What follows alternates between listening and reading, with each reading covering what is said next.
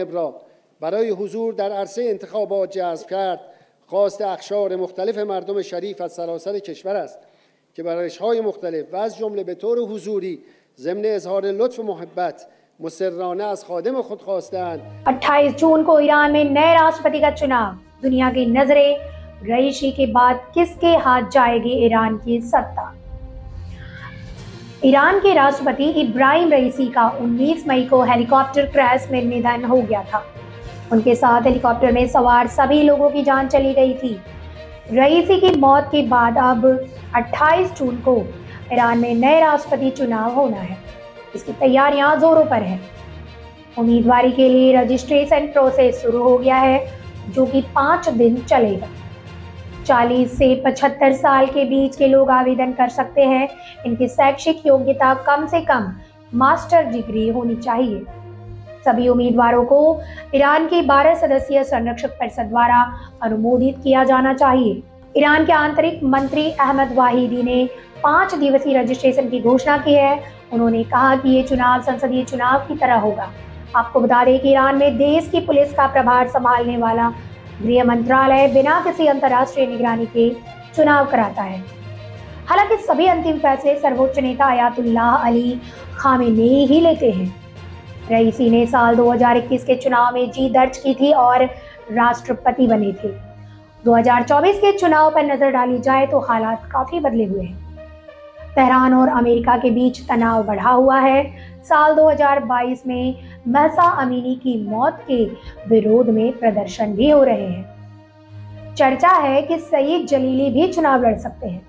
इसके साथ ही मोहसिन हाशमी रफसंजानी का नाम भी चर्चा में है। वो पूर्व राष्ट्रपति अकबर हाशमी रफसंजानी के बेटे हैं।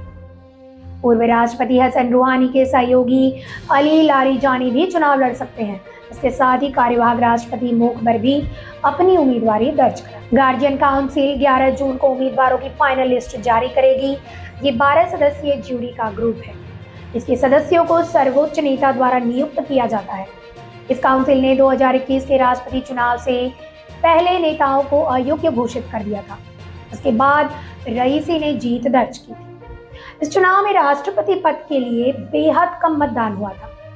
महज अड़तालीस दशमलव आठ फ़ीसदी वोटिंग हुई हेलीकॉप्टर क्रैश में इब्राहिम रईसी की मौत होने के बाद ईरान के सर्वोच्च नेता अली खामेनेई ने मोहम्मद मोकबेर को सरकार का प्रमुख नियुक्त किया है।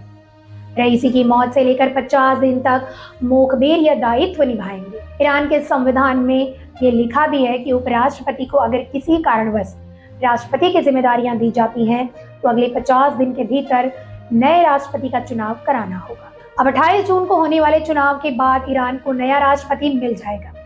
तब तक मोखबर ही संसद के स्पीकर और न्यायपालिका के साथ देश के प्रमुख निर्णय लेंगे। ईरान की सरकार चलाने के लिए नियुक्त मोहम्मद मोखबेर को एक कट्टरपंथी के रूप में जाना जाता है। मोखबेर पर 2010 में अमेरिका में बैन भी लगाया गया था। दरअसल, मोकबेर को ईरान के सर्वोच्च नेता खामिनी के साथ उन व्यक्तियों के लिस्ट में शामिल किया गया था, जो परमाणु या बैलिस्टिक मिसाइल गतिविधियों में शामिल था। हालाँकि, दो साल बाद मोकबेर को इस सूची से हटा दिया गया था। नमस्कार, आप देख रहे थे एयर न्यूज़ धन्यवाद।